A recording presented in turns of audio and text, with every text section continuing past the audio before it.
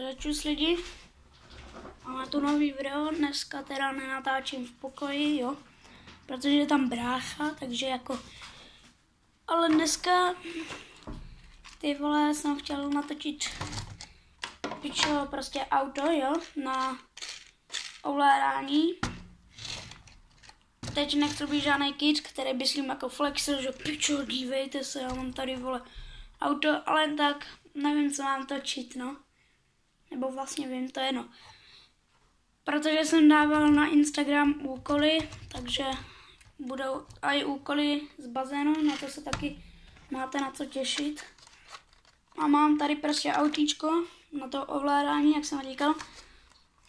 A ukážu vám nějakou projížďku prostě. Já to ještě moc neumím, jo? Mám to ze včerejška. Z poutě. Takže ještě s tím moc neumím řídit. Ale teď vám ukážu tak, jak umím jezdit. Tak jo, takže se jdu projet. Já jsem tady nahoře.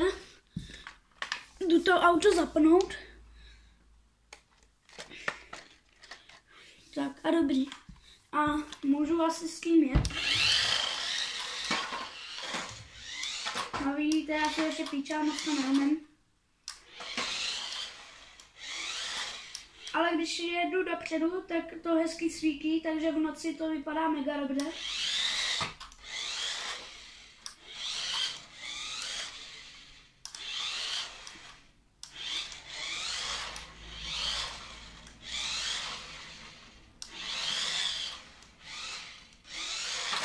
No vidíte, ještě to moc neumím.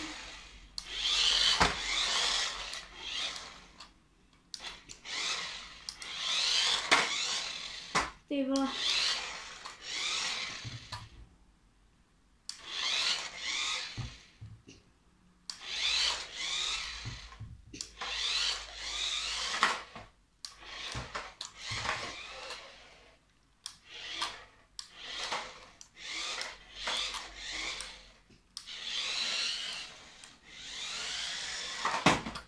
Dobrý, už bych toho radši nechal, prostě jste to viděli.